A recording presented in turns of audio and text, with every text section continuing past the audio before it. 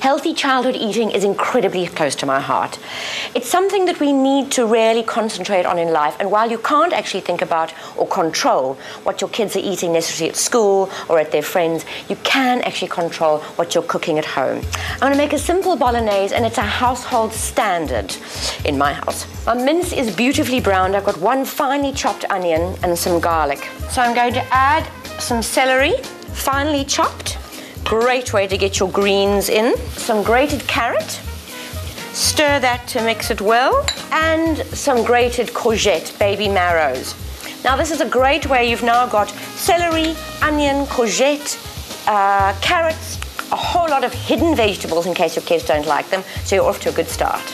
So as soon as that's sort of fried about a bit and just a bit sauteed, add a can of chopped tomatoes. You could add ordinary tomatoes and chop them yourself, but I'm a bit lazy. And now we're on to the last stage. I'm gonna add a packet of tomato paste, some beef stock powder. Remember there's salt in the beef stock, so beef stock powder is just easier. You could use a cube.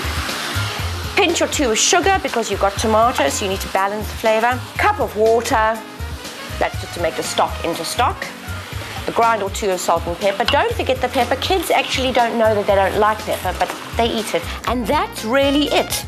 Bring it to the boil, reduce the heat, put the lid on and let it simmer for about an hour.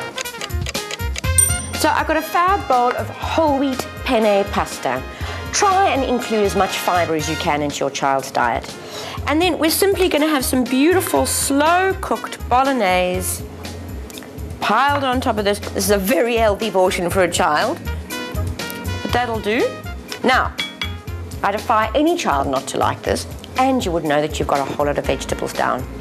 But don't just put it on whole wheat pasta, whole wheat couscous, on lovely fresh baguette as a sloppy joe. Put it, add some kidney beans and maybe some corn. Put it in a wrap with some uh, guacamole and some yogurt. Call it Mexican. I mean, there's a million things you can do. Turn it into cottage pie and have a sweet potato, low GI topping. The options are endless when the basics are good. Enjoy.